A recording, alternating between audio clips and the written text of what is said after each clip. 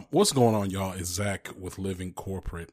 And yeah, we have an interview this week. Um, but I would be remiss if we didn't just like do a quick state of, I'm not even gonna call it the culture, um, but just pausing as to where we are right now. Um, I'm recording this on a Sunday, um, just after the news of the terrorist attack on um, 10 black folks in Buffalo um, who lost their lives as a result. And I don't know, like, it's just so sad because I come on here as a podcaster, as a speaker, as a thought leader, as a whatever you want to call me. But I've come on here on Living Corporate now like four or five times to like have these types of talks, like where we kind of like slow down, break regular programming, and have a, a more frank conversation. More frank, frankly, than the discussions we typically have, which is pretty frank. And I, I just don't know what to say, right? I mean, the reality is is that white folks by and large do not see black people as human beings right like they they don't which is why folks are able to continue to harm black people to plan the terroristic uh, attacks on black communities and families for centuries now to be clear and are able to continue to plan with frankly with impunity right now yes you can say this person was arrested but again like the very nature of even planning the attack and writing so loudly about it um, the whole theory around the idea that white people are being replaced in this country um, is parroted and championed by mainstream media outlets across the world, uh, particularly in America. That most of the people that you work with hear that type of theory and aren't immediately appalled by it. And that's many of them agree with that. And that's terrifying. And it's heartbreaking. And the implications of being able to carry such theories on such large platforms and to not challenge them or truly limit them in terms of how they are propagated directly creates harm and risk for black people. It does. It does. And that's why you also notice the same the the Venn diagram. There's a Venn diagram of people who are really passionate about free speech and people who want to say highly white supremacist things, highly racist, misogynistic, patriarchal things, it's damn near a circle, right? No one is really tripping about free speech like that. I, I don't know. I don't know. No one's really tripping about free speech like that except these people who want to say whatever they want as it pertains to being able to shit on black and brown people and black and brown women and women in general and disabled people and queer people. Certainly black and brown disabled and queer people. And it's frustrating. It's frustrating to hear and see. And now we're looking at these people who have passed away, who were murdered by a Twitch streamer who decided to have his real life Call of Duty modern warfare situation where he puts nigger on his assault rifle, goes into a grocery store on a Saturday, and decides to take the lives of 10 innocent people. The mainstream media can't even call it what it is, which is white supremacist. They want to say racially motivated or ethnically targeted. Any language that isn't what it is. And and I'm gonna tell you, the truth of the matter is, again, like the reason why we can't continue to progress and like we have yet to progress and really make any serious uh, movement on the cause of equity for black people in this country is because we're not even we when i really mean we i mean y'all and by y'all i mean white folks. Y'all struggle to name things. Y'all struggle to name harm y'all refuse actually to name the harm of your actions for black and brown people and i really believe that it's because you don't see it as harmful because you don't really see us as human beings you see us really frankly less than animals because i do believe if that white boy ran up in a grocery store and killed, or ran into a PetSmart and killed 10 dogs, y'all would have a problem.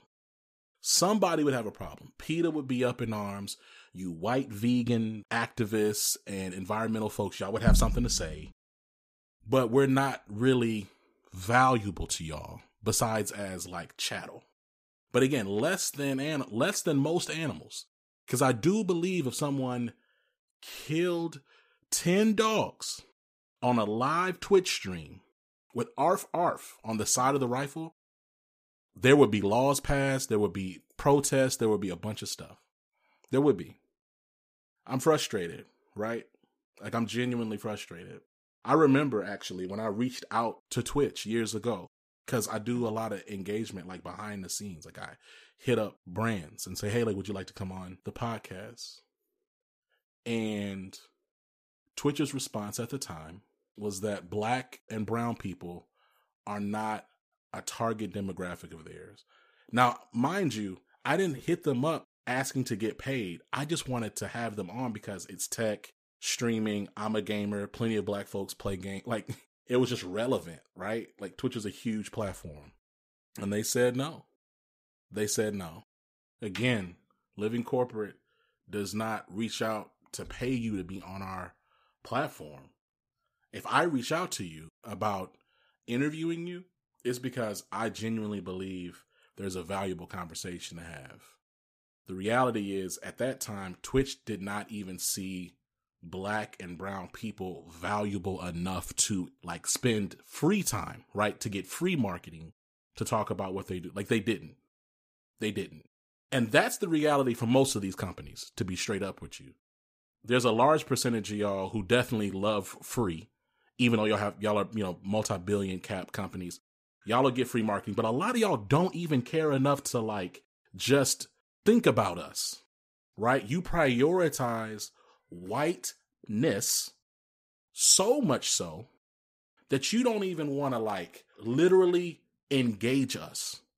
And guess what?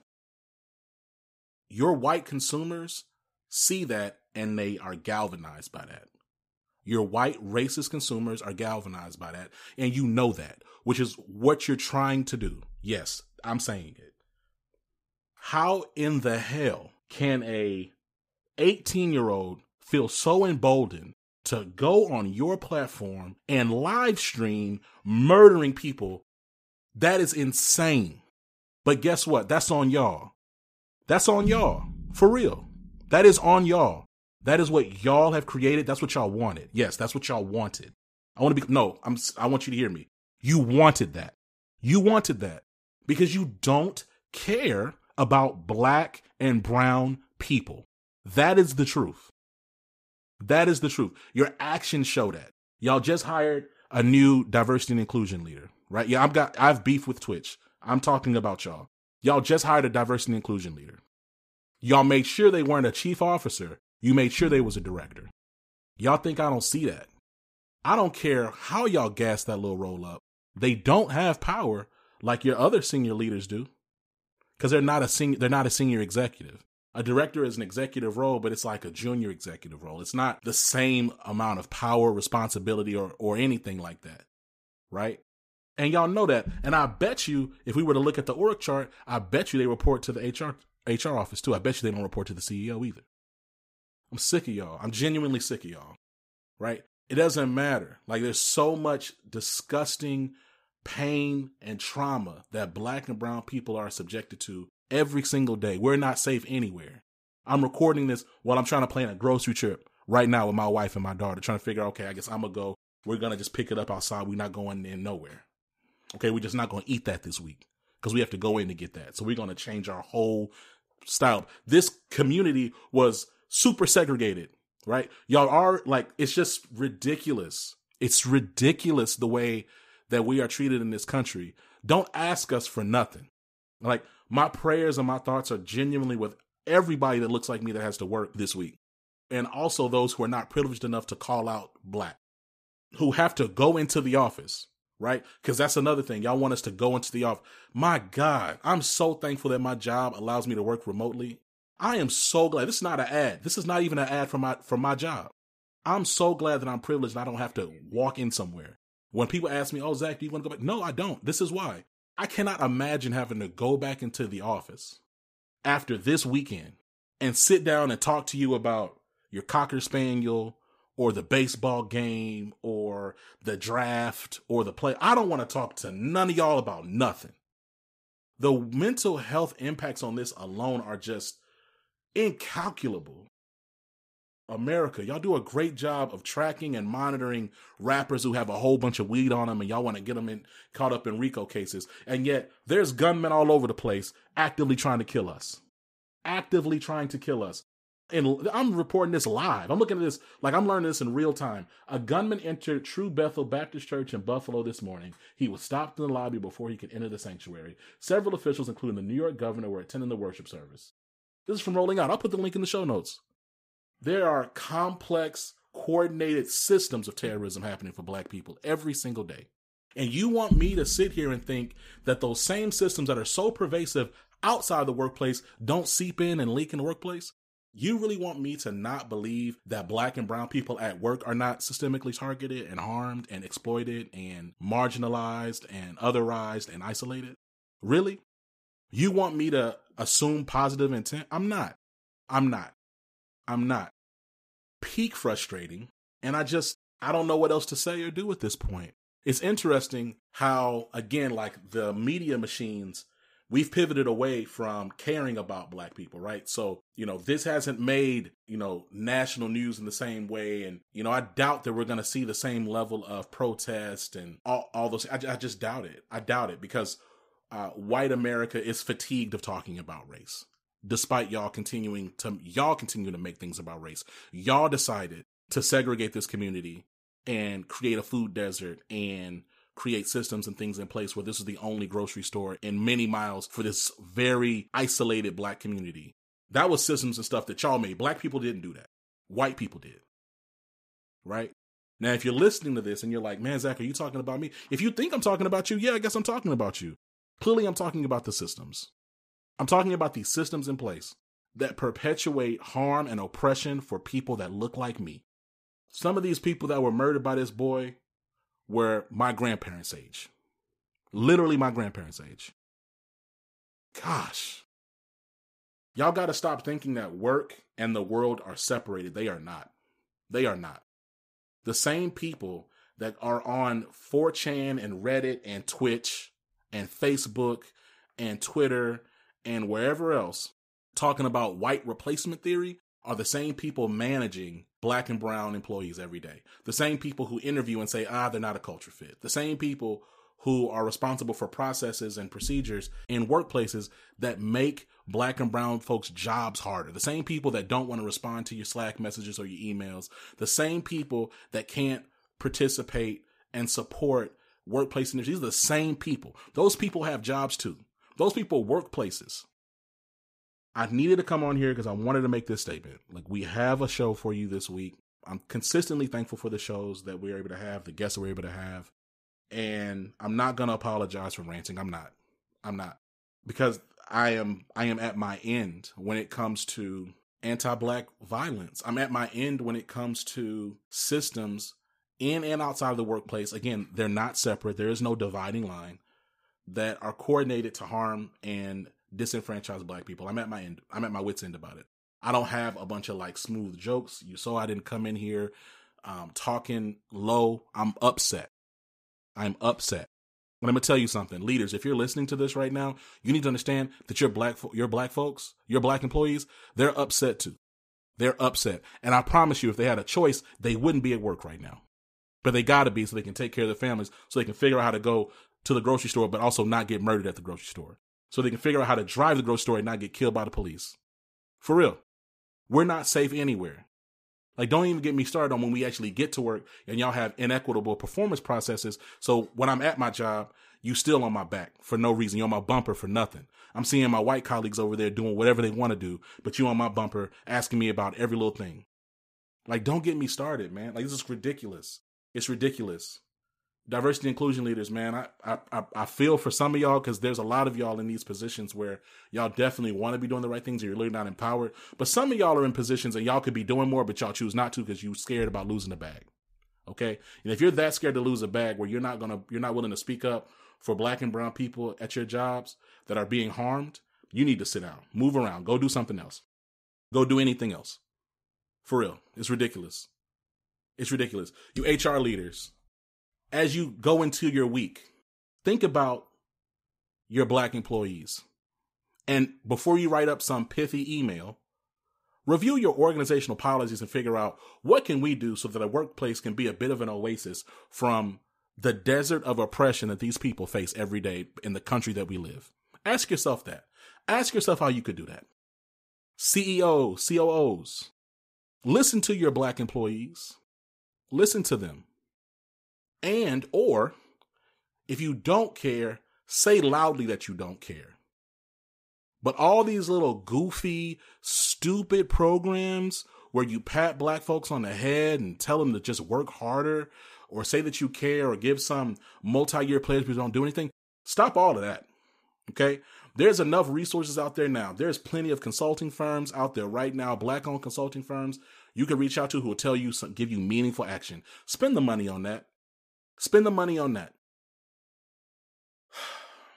All right, that's it. Um, we're gonna go ahead and get to the show, but I, I just would be remiss, like I said, to not speak on what I'm seeing around. Like we didn't even talk about these draconian laws where folks are trying to make abortion illegal.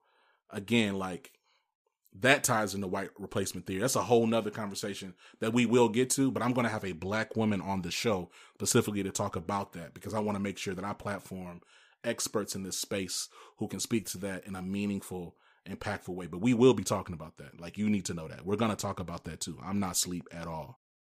We're going to go ahead and tap in with Tristan. And after that, we'll get to the interview that we had. I love y'all. Peace.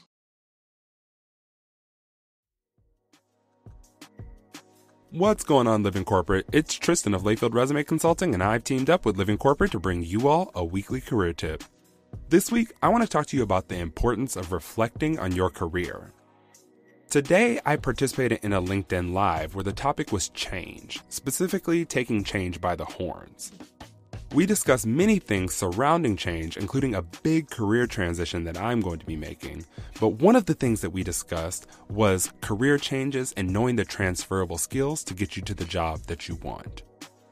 Now, when I talk to many of my clients, I find that that's the exact issue that they have. They don't understand the transferable skills that they possess to get them to the job that they want.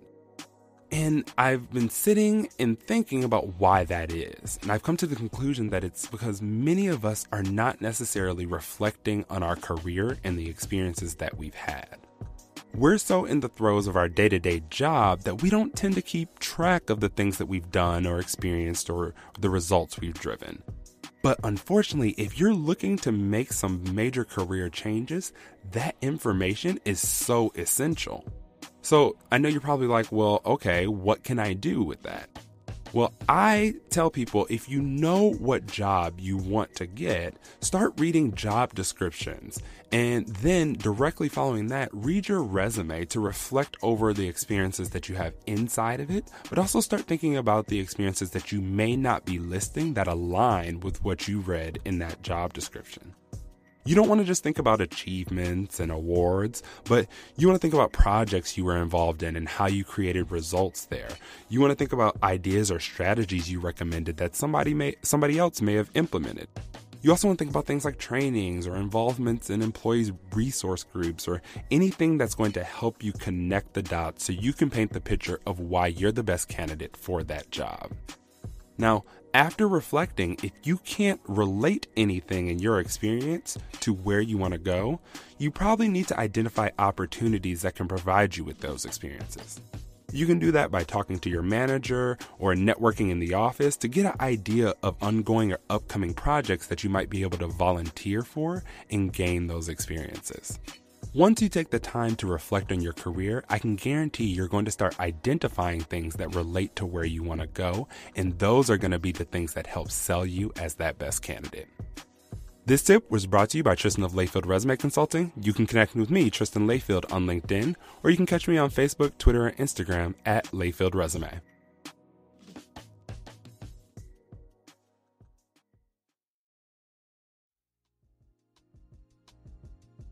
Imani, welcome to the show. How you doing? I'm good, thank you. Listen, um, first of all, let me just say, I so very much so appreciate um who you are, who you present yourself to be on your socials, your brand, like super critical and important. Um, you highlight the true the intersection of so many different identities and experiences. Um, and I'll say this, and I've said this several times on Living Corporate is, you know, we've had Melissa Thompson, Um, we've had a couple other folks. Um, we don't for for a platform that really espouses itself on centering and amplifying marginalized folks at work. We we have under engaged um, disabled experiences, um, especially at the intersection of disability and work. Um, I think that you know you've talked about this at length, and I can't wait to give you the floor to really to kind of like unpack it a bit more. Um, you've spoken at length about this uh, panoramic, this Pangea, this Pythagoras, Panini, yeah. this Panini, this uh, mm-hmm. Plagiarism, um, and its impact, its impact on um, on how we even view disability and really how th- the confluence of events between, um, you know, people say a reckoning. It hasn't been a, a racial reckoning, but you know, like this globe, all these global protests against white supremacy or what folks are framing as white supremacy, um, or people, people, limited people, people have limited understanding of white supremacy.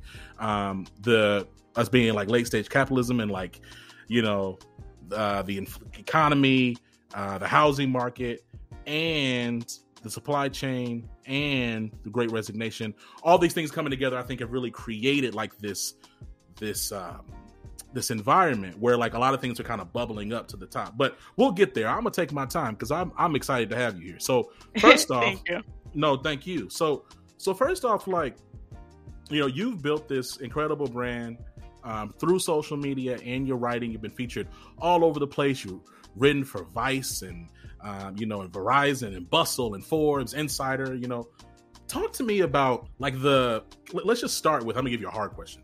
Let's just start with like what is it like to to to exist in so many multiple spaces like out loud and so purposely like i think it's interesting like you know for i think first of all like disability is broad like there's visible and yeah. and invisible disability i think like i think also like diversity is you know mm-hmm. is also like a you know is a broad term white folks kind of made it up but it's like you know when you're visibly diverse right so you're you're black you're yeah. a woman yeah you're disabled like yeah. talk to me about like what is it what does it mean to exist simultaneously and and i just named three things. I, am confident that you are dozens of other things. Um, yeah. but, but, but but like talk to me about what it means to just to, to to exist simultaneously in all these identities in this world. Um it's rough but also very freeing in a certain sense. I remember like from a very young age uh, you know i when I was growing up, I was very much so trying to separate myself out so that other people felt more comfortable around me. Um, and I was just like, you know, like what? After a while, I was like, why am I doing this? Why am I trying to make pe- other people comfortable around me? And I think that that realization was like, ah, fuck it. Like I'm just gonna like I'm just gonna do what I need to do, um, because there's no there's nothing I can actually achieve or accomplish that'll make people see me as anything anything different than what from what they want to see me as. Um, and as a black disabled woman, like the amount of times um, people feel really entitled to my personhood in so many different ways. Um, and people are feel entitled to my labor. They feel entitled to my story. They feel entitled to know what's wrong with me, to know um, what my disability is, to know my medical history. Just complete strangers. Um, so I've always lived my life in such a way that um, I was under a microscope and under people's gaze all the time. So when it came to social media, I was like, people are like, well, people are gonna, see, you're gonna be more exposed. People are gonna see you for you, and I'm like, well, listen, people have been staring at me my entire life. What is the difference? I'm just giving them a reason to now. So yeah, it's it's an interesting kind of dynamic. Let's talk a little bit about that word entitlement. Like, let's unpack that a bit. When you say people feel like people are entitled to you, um, yeah, give me give me some examples of what you mean by that, and how does that play out? So when I was growing up, I've had people grab at me um, because they wanted a hug. I've had people kiss me on the street as a child because they thought I was so inspiring. I've had people um, grab at my crutches to get my attention.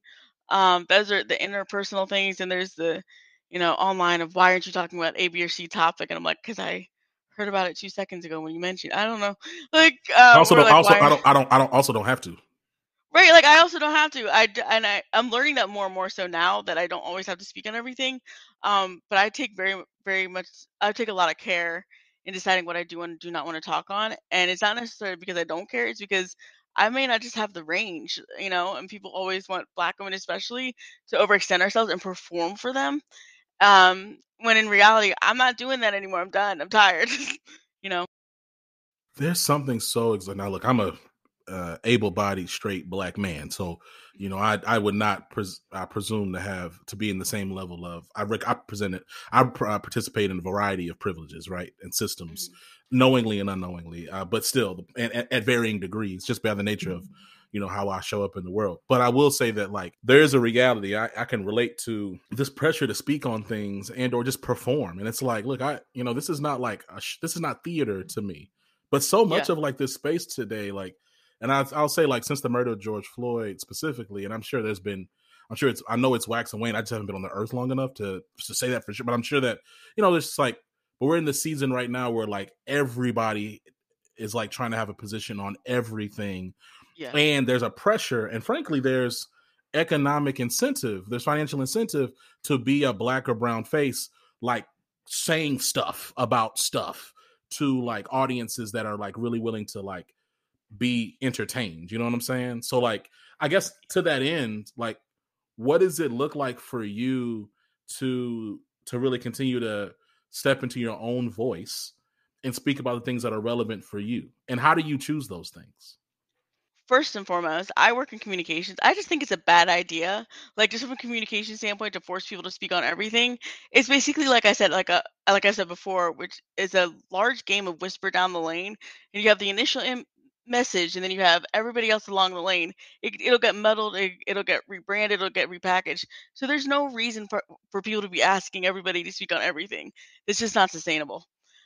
Um, but in terms of what I decided to speak on, I realized that there are other people already speaking on a multitude of things. Like wherever I can, I try to boost the voices of other people who are not me, who are in different marginalizations, who have other perspectives on things, because that's not my experience, and it's not my experience to always speak on. Um, and I always feel out of place whenever I'm forced to speak on something that I don't have a knowledge base for. Like I just don't I just don't know. I'm still learning about a lot of things like other people are. And the fact that we don't give people enough grace to understand like there's a difference between not knowing because they don't care and not knowing because they know what they don't know. Um, and are humble enough to admit when they don't know something. Um, and so I try to speak on things that are specific to the disability community, to Black folks, um, to the mix of disabled and black folks, to disabled people of color, and to address like white supremacy within the disability community as well as white supremacy, um, how, how, white supremacy utilizes the disability community. And so I try to stick within that lane, and also um, I'm trying to talk more about like my expertise and the things I'm passionate about because I think we advocate for so long it's so hard to be a part of the room that we forget why we wanted to be there in the first place. So you said um it's interesting, you know, I, you were you had this TikTok like a couple, maybe it's like a month ago. I don't know. Time time is moving and like in this uh Jeremy Bear me. It's weird. Uh but but like you were talking about this idea of like allyship and like mm-hmm. questioning like the merits of it. Like what are your thoughts on allyship conceptually and like what's been your experience when it comes to allyship as a like as as a black disabled woman like navigating these spaces like like i'm i'm just really curious to get like your perspective on that and then um and what is and and and if you agree if you believe that allyship ex- is real then like what does real allyship look like? Yeah i always i'm always questioning whenever i see somebody put create like a trademark or a brand to something that is really necessary for human community. Um like creating an like allyship was never really like a term or like a huge big branded idea prior to maybe like the 2015 like 2015 2010 like that type of era. Um, and we've created this entire identity around being an ally that is just basically calling somebody a good person. Um like that there has to be like a brand name to this that isn't really necessary. Um and I I did that TikTok because I was like, I really dislike the idea of people calling themselves allied to other communities that are marginalized because that's not really a thing. Um, I, I think that if that community feels like you've done enough, or that you are educated enough, or that you are um, in the paint with them for them for so long that you know they don't question your motives, they don't question your ideals, um, then they can call you ally. But you should never be calling yourself an ally. I don't get that. Um, it's uh, it's very weird. Like it's it's like mm, it's very strange because you know, um, as a black disabled woman, there are people who will consider themselves my ally along the, the lines of race, and then will completely forget about the disability aspect to it, but not realizing that disability is utilized to marginalize people racially, and then they'll be shooting themselves in the foot with their advocacy or their allyship, and they'll be they'll just be I don't know. I I really struggle with thinking people can be allies. I really struggle with people describing themselves as allies. It's not necessarily that people cannot be accomplices or cannot be really good people or cannot uh, be invested in the in the liberation of us all, but the fact that we need to put a name to it and that you don't need to earn that name, you could just ascribe it to yourself. That's that's going to always be weird to me. I'm gonna tell you too. Like when I was just talking to, who was I talking to? I'm not gonna name drop. Like people, no. I'm, that's messy. I'm that's tacky. But I was, but I was just talking to somebody. Like we just had an interview on Living Corporate like some mm-hmm. time ago, and I was like, I hate it when people do that, and like it's always white men um telling me I'm your ally. So white women too.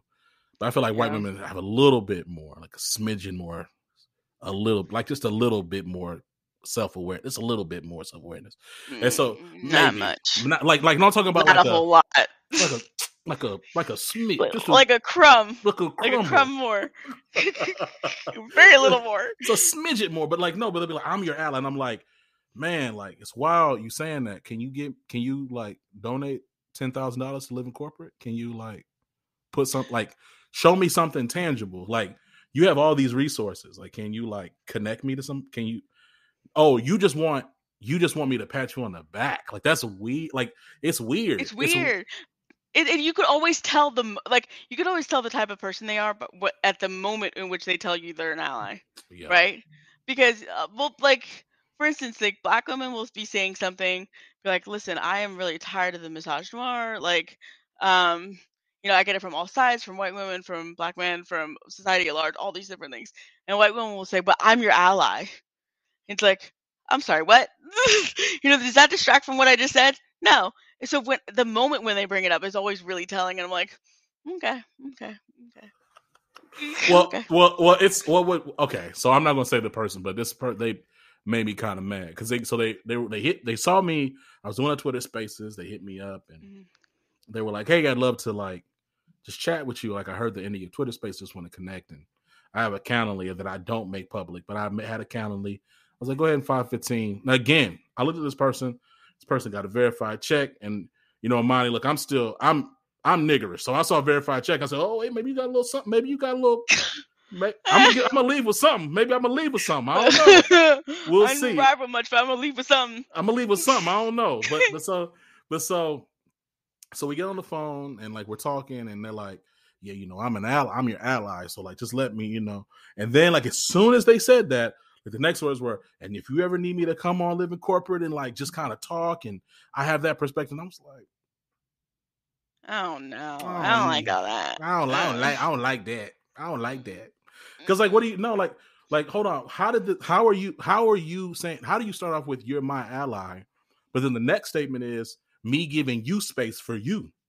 Yeah. You're, that like come on like that's and that seems so so much of what this seems to be about is like I guess going back to your whole point around just like entitled to you and your space is like just folks just want you to sh- they want you to give them thing. I'm like yo like I've I'm be honest I feel like I'm giving a lot. I feel like you know yeah maybe you maybe you give something. So right. um so let's let's talk a little bit about you know your commentary on disability again like in this new working context. Like I would just love to give you space. Like talk to me about like what you're seeing in this new work from home dynamic mm-hmm. um, and this pressure that organizations are creating to encourage employees to go back excuse me return back to the office. Well okay so let's start with the beginning of the pandemic because i feel like i have to start at the beginning. Um, right as the pandemic started everything became accessible just as they left disabled people to die which is like insulting in and of itself. Um, it became accessible uh, and things became available that disabled people have been asking for this entire time. We've been asking for remote work. We've been asking for remote telemedicine. We've been asking for all of these different services to be available to us and people are like nah it's not possible it's not available um, and then two years later people are like oh i love this i'm so used to this i don't want to return to the office um, and disabled people are like well yeah that's the whole that's why we hello we've been talking about this for years for decades um, and i think that remote work is is our future there is no going back to normal i, I really dislike this idea that people are trying to pressure us or push this narrative forward that that is even possible. It's not even it's not even remotely possible. Um, just the things that have been revealed to us during the pandemic is in and of itself an indication that we can't go back to a normal that we were used to. Um, as it pertains to work, I think people are more I think people are better advocates for themselves. I think they're really realizing what they want out of their lives and they want balance. I think that that's the biggest takeaway that we have in terms of work and the pandemic. A lot of employers just did not give a crap. They just did not care for their employer employees. Um, and people started realizing that their health is actually in the hands of their employer. Um, and it's not just with the pandemic; which is it's terrifying. Fact, right? Like, like the fact that your healthcare is tied to employment, that in and of itself is a problem enough. Um, but the fact that employers were making policies of people being in the office during um, high transmission rates and people um, and people not wearing masks and like I don't want to wear a mask because it reminds me of the pan. Who cares if it reminds you of the pandemic? It's safer. Um, and people really saw like their employers show their true colors, and they were like, no, no, I'm not gonna let you control my life in this way. I'm not gonna let you to have this amount of power over me. I want to have spend time with my family. I want time for the, my passions. I want time to have fun. I no longer want to work this grind. And so the great resignation was it was always going to happen. Like it was always going to happen when you put that amount of power in um, one person's hand or in one employer's hand. There was always going to be a breaking point in which people said to pe- said to their employers, "I'm done." Um, so the great resignation makes perfect sense to me. Um, and when you consider too that you know disability also plays a role, um, watching disabled people struggle for employment through this through for years. Like when I would apply for jobs and disclose that I had a disability, I would never get an interview. I would apply for hundreds upon hundreds upon hundreds of jobs and never get a single interview. Once I stopped disclosing, I got like six interviews in a week. And like wow. these are federal yeah, these are federal forms that where they're supposed to be saying, "Oh, you know, uh it's it we don't use this against you in terms of employing you." It's like that's bullshit. Um, but anyways, people disabled people are now everybody else's competition because the remote work that we've been asking for, we now have access to because of the pandemic. Um, and now they want to take it away because I think there's also the fact that there's, uh, you know, commercial real estate, but also there's a ton of like nepotism hires that are basically middlemen that are not necessary that just realize like, right. hey, if I'm not actually in the office, people don't actually I don't have any value. Need me. Right, like they don't actually need me around. Um, yes, I think that there's there this was always going to happen. This we were always going to get to this place. You know, it's interesting because I so I'm coming for I'm coming from consulting where, you know, and folks who don't know listening in, it's like, you know, consulting is just you just like fly from like you fly in on a Sunday night or early Monday morning and you just sit in like a dark room in New Jersey or wherever their client side is, and you just yeah. do a bunch of work that you could have done at home. You know yeah. what I mean? That's you're not. It's not. You're not like. You're not like a like I'm not like a like a playground consultant or like where I'm like, yo, you gotta uh, let me test these monkey. Like I'm not doing that. I'm just like making. I'm just making some PowerPoint slides. It's not. And so like I remember this was like four or five years ago. Like like I've since exited consulting, but like this was years ago, and I would just be like I remember like I I went I was in a on a client site in New Jersey.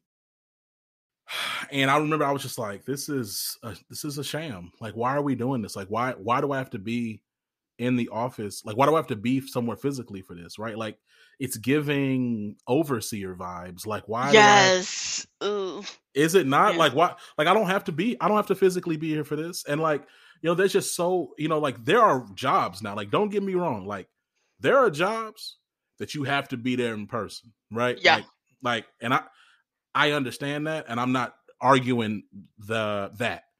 I am also saying it is the year of our Beyonce 2022. Like, there's a lot of things that like we can we can optimize through tech, Like we don't have to be in person to have a meeting.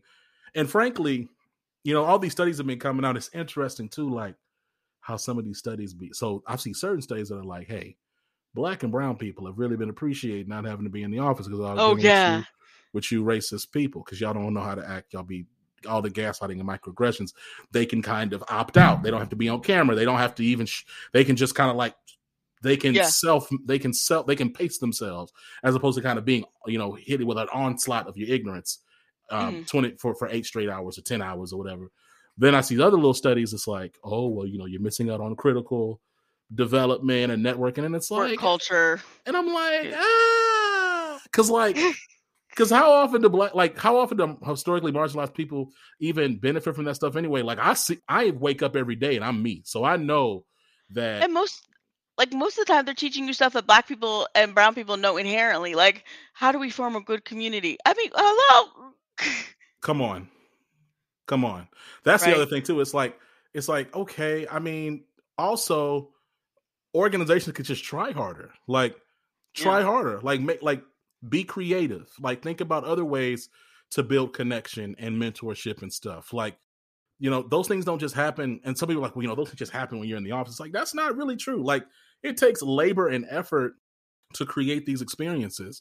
Um, you know, you talked a little bit about like even just like when you talked about the like even with benefits and insurance and stuff like that. Like you've said this a couple times. I'm like, every time you said, like, you talked about like how, like, eyeglasses are a disability, mm-hmm. but it's just that it's a lot of people, like millions of people, need glasses. So we've normalized that. Can you talk a little bit more about like the normalization of certain disabilities um, and the stigmatization um, or otherization of others? Yeah, so what you're referring to is what's what we like to call um, the social versus like the medical model of disability. Um, so basically, when I refer to when I say people have glasses and that's a disability, is that you have vision impairment, which is uh, not necessarily fixed, but helped by eyeglasses, right? Um, but and it's so destigmatized that you feel like, hey, I can go about life or go about work, and my glasses are not necessarily an issue. Um, basically, what that means is like we're we're making sure that you have the accommodations or that you have access to the accommodations that you need to go about your day. Um, and basically, the social model of disability says that, excuse me, whatever diagnosis that you have is one issue, but we as a society built in an inaccessibility to keep people out of public space, to people, keep people out of the workforce. And we need to do better to build an inclusive society that is available to everybody. And so that's kind of what I was talking about. We need to do more to build a society where accommodations are not exceptional, they are the norm. That we have a culture of accessibility from the ground up rather than trying to fit in the last little bits of pieces um, of accessibility at the end point at which it's not really feasible anymore. Um, we need to build in disabilities, disability inclusion, um, so that disabled people aren't stigmatized for needing what we need. Um, and that's why disabled people don't like the term special needs or mm-hmm. disability. Mm. Like it's a disability. Like I live in a disabling society. I have a disability. Mm. Um, and you are actively contributing to my disabling by not building a society that is inclusive for us all. Mm. Um, yeah. There's something that's profound because it's, I mean, it's kind of reminds me of like, well, no. So it's it's interesting because you're saying when you say we we live in a disabling society. So like this idea of disability is more, much more so, if not wholly upon the environment which drives disability, rather than the individual as if the individual in some way is lacking or um, has failed in some way. Yeah. So our entire system of policy is built around what's called the individual model of disability as well as the medical model of disability. The mm. individual model says that disability is an individual problem to become overcome by the individual. There is no need for public funds or accessibility or for society to change at all. It is mm. the individual's problem having a disability and they need to fix it. Now, the medical model says that that can be done through medical intervention solely through physical therapies, through all of these different toolkits that are medically uh, prescribed. Um, and I don't think disabled people um, believe that it is wholly one or the other. I think a lot okay. of us do recognize, like, I have I have chronic pain that's not going to go away by there being a ramp, but it was it's made better by me having access to a ramp. I don't okay. think it's one or the other. It's more like we want as many tools as possible in our in our toolkit so we can live the lives that we choose to live. The challenge though, like to your point, like the challenge though is like culturally we do have we're in a very I mean, it's also part of like just like uh white supremacy and like patriarchies. We have this a very we have a very individualistic culture, right?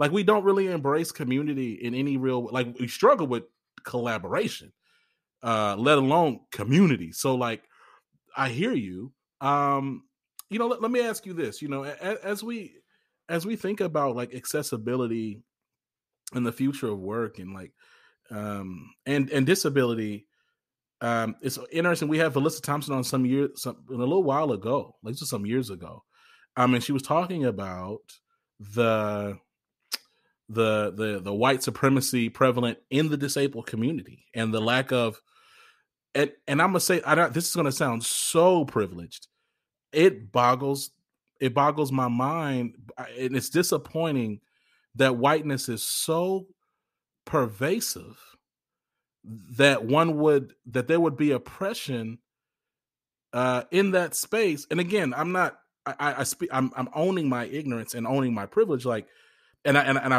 of course I believe I believe Alyssa when she said it like I didn't question it. It just blows and I'm embarrassed to say it blows my mind. Can you talk a little bit about about that like the dynamic of race the intersection of race in in the disabled community I'm chuckling because I always get like in trouble whenever I talk about it, but um, I don't care. Um, um, yeah. So disability for decades has been represented as a white issue, mm. um, and we have we have shaped entire policies, um, diagnoses, even um, in our society to accommodate white disabled people first and everybody else. Well, that's just their nature, right? Um, the groups with the highest rates of disability are Indigenous folks and Black folks. Um, yet we're very rarely represented, even within our own communities, as, as having a disability. Um, but white supremacy is, is an extremely huge problem within the disability community. But you have to understand, too, our society, a lot of our accommodations are built around capitalism and white supremacy. Um, they tell, like, I've been in programs since I was two years old, and they hammer into you if you have a job, you'll be valuable you'll be successful you'll be valued. Um, if you have if you build capital then nobody could tell you that you're actually disabled you're not actually disabled if you can carry a job and all these different things. Um, and then you think about the interpersonal bigotry and racism and things like that that play a role in pe- people's ability to get a job to be able to provide for themselves. And it's all very like interconnected interwoven um, and white disabled people benefit the most. You know, our welfare system was designed for white people. Our charitable system. Um, I was uh, some while ago. I think I was at like a nonprofit convention, and I was listening to the speaker speak and say that they they run a nonprofit, and when they said, and then when they put black people as those being the beneficiaries of their charity, they got way less donations than if they put white people. Like this is like this is very well known. Like you put white people first. And even with my own organization, the first thing I did, I'm a communication director. The very first thing I did was I was like, I'm gonna switch up some of these photos. We're gonna get some more. We're gonna get some more color in here. Um, but people really do and not. You talk see- about you talk about crutches and spice, right? Oh no, th- this is my my full time job, my other job. I'm a communication director. Yeah. So I was like, I was like, and they were like receptive to. It. They're like, yeah, absolutely. Let's change it up. Let's make things more diverse, but like I said, it's a very much a white thing. Um, there are entire groups of particularly white disabled people on Reddit that will harass and dox and try to get black and brown disabled people kicked off of their benefits. There are white supremacists with disabilities. Um, there, the the I don't know if you've heard of 8chan as it pertains to you know the QAnon conspiracy started by a white disabled man um yeah like all like it's all up and through it. Uh, it's a big problem in our community and a lot of people are not really wanting to address it because it's uncomfortable. It's uncomfortable that the exact same dynamics of the rest of society are also mirrored within the disability community. Um yeah i mean i've heard of black disabled people who use service animals um being accused of stealing those animals or stealing um, the stealing the service animals. Having the cops called on them. Um, yeah, it's a it's different being black and disabled than just being disabled. Um, I've been asked if I gotten shot. Um, and that's why I'm disabled. Uh, Ma'am. I'm serious. I was, I was, and I promise I was minding my own business. Like I was, just, I was just sitting there, and this white woman look, looks at me, looks at my one of my scars. I have a scar on my um, calf that kind of looks puckered because when I was little, it was infected and got scarred really bad. Um, and she goes, "Oh, did you get shot?" I was like, "No. Can I just have the paperwork I came down here for?" And then like, I'll just so to your point about like people having to deal with microaggressions, the only thing that has been good about the pandemic is I haven't had to deal with non-disabled people that much. Um, yeah. I just I don't have a lot to say. I'm just shocked. I'm ge- I am genuinely I am what's the I am what's the word? Your I am go- I am gobsmacked. I am genuinely aghast at what you're saying. And yeah. dang, whiteness is crazy. White folks, why what's wrong? What's going on? Like this white supremacy is a scourge. It's a scourge. It needs to be it, this Yeah. is this is this is this is actually I mean, now I've known it's been out of control, but I think it's just hearing it from another person. This is out of control. That is absolutely crazy. Um, oh yeah, and oh, I was actually so I was actually researching a video yesterday. It's funny you brought this up. So people think people seem to believe that disabled people overwhelmingly vote um, Democrat or progressive policies, but I think the the it's a lot closer than you think. Like uh, I think about like 42 to 45 percent of disabled people voted conservative, um, both in 2016 and in 2020. The GOP So don't care about y'all. I mean, but here's the thing though. Here's like here's what disability advocacy told me. So I work for an organization that does a lot of political lobbying, that does a lot of advocacy on the political level. The people taking meetings from disabled people are not always who you think they are. And the people canceling on disabled people are not always who you think they are. Really? I'm dead serious. I'm dead serious. I'm trying to figure out what we're gonna title this episode. You you get all kinds of tea. This is incredible. Okay, Right. So okay, well, let's. Okay, you know what? Look, this uh, we ain't owned by no uh, um, uh, media outlet. So let me ask: When you say that, what you trying to say? You saying that the GOP will take the meetings and then like these like liberals, these Democrats won't? Some on the state level, yeah. That's wild. Yeah, yeah, it's real bad. Like it's That's that's and- really that's really wild.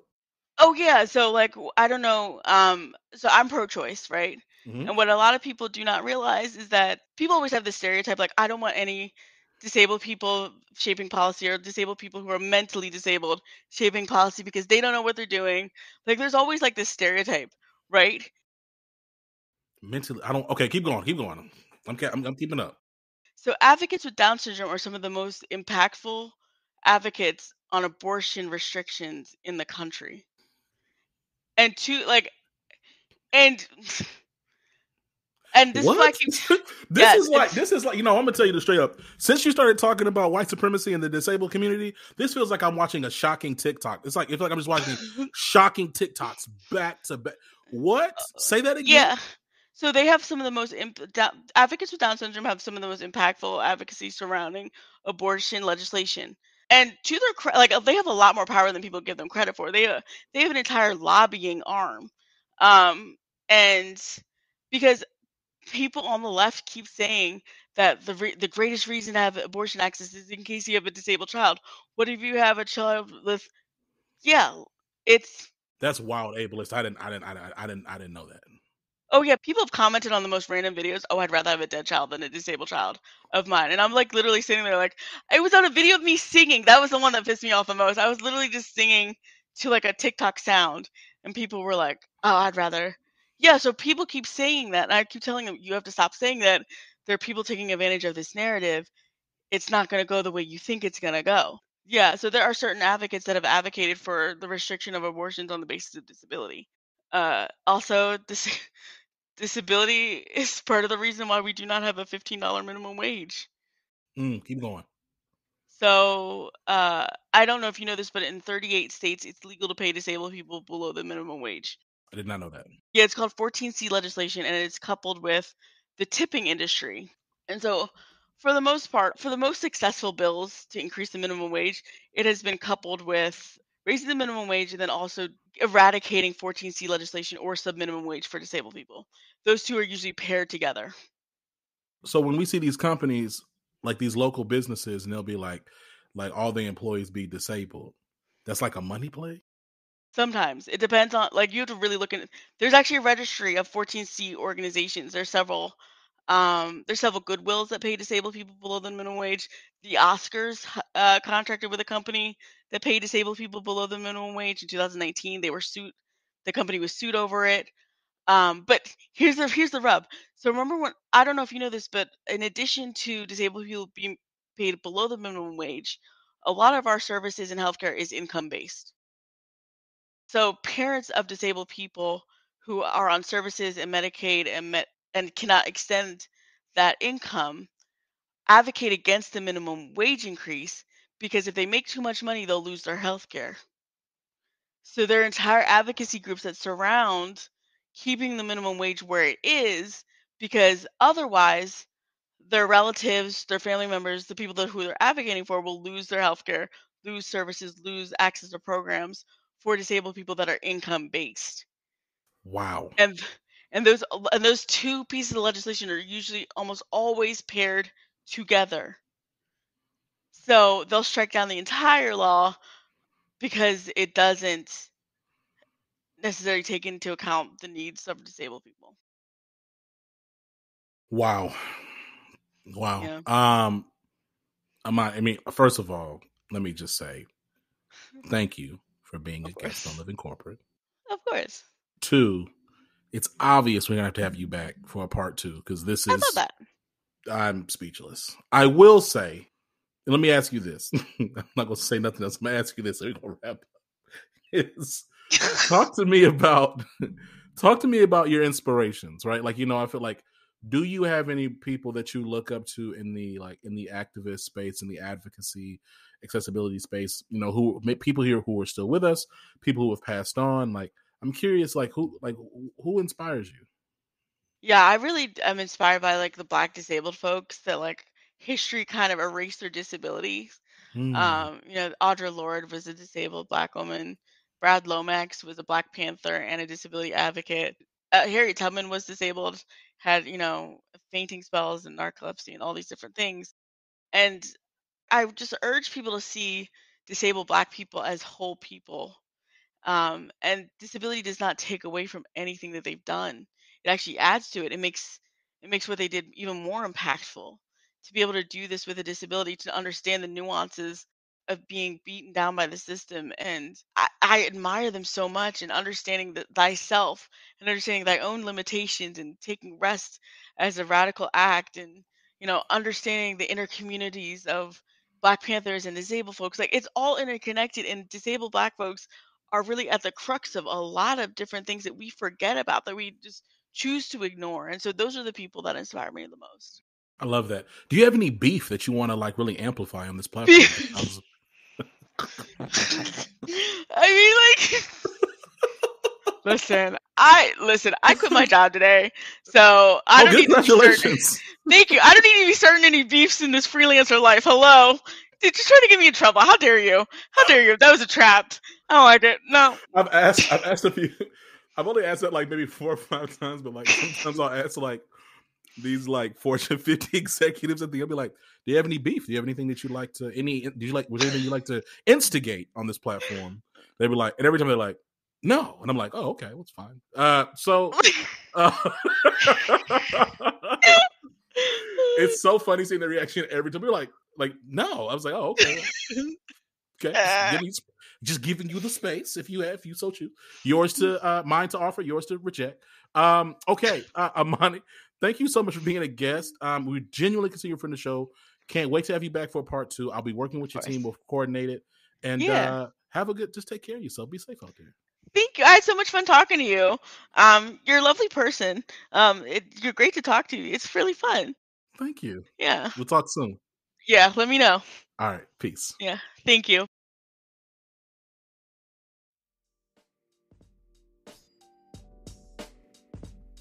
Yo, again, I want to thank Imani for being a guest on the podcast. I love her voice. I love everything that she's doing. Make sure you follow her, the socials and the links in the show notes. And look, the reality is is that we don't need any more gestures, statues, streets, or uh, murals. We need legislation, resources, and advocacy. Every one uh, of these big tech organizations, these companies, they have leverage and voices and reach with governmental agencies to mobilize and sign different pieces of um, documentation to promote legislation to be passed for causes that they believe in. All types of amicus briefs and all different sorts of measures that they use, both in front of the scenes and behind the scenes, to mobilize impact. And that's what we need. We need effective organizational policies and processes so that we can actually have change. We need coordination between HR departments, diversity and inclusion departments, training departments, and operational teams so that organizationally anti racism becomes less of a buzzword and more of a way of work. That's what we need. Okay? We need folks to review their budgets, their organizational budgets, and hire diversity and inclusion, social justice, activist organizations to help solve the equity issues of black and brown people. That's what we need. It is not sustainable. It is not sustainable. I'm going to say it again. It is not sustainable for black and brown people to continue to be terrorized outside of work and then be subject to incompetence, frankly, oftentimes racist incompetence inside of work. It is not sustainable for your business. You need us. We are the creative uh, lifeblood of all the things that you do. In tech, y'all often are stealing from black folks all the time. Your white papers are sprinkled and littered with black ideas that you then put white faces over. Uh, your products are typically, um, and oftentimes rather, excuse me, um, the result of you taking someone else's ideas. You need us. You need us. It is not sustainable it is not sustainable for this to continue. It is not. Black life matters. Black life matters. Black careers matter. Black employee experiences matter. Your black customers, they matter. Black people matter. Till next time, this has been Zach. Peace.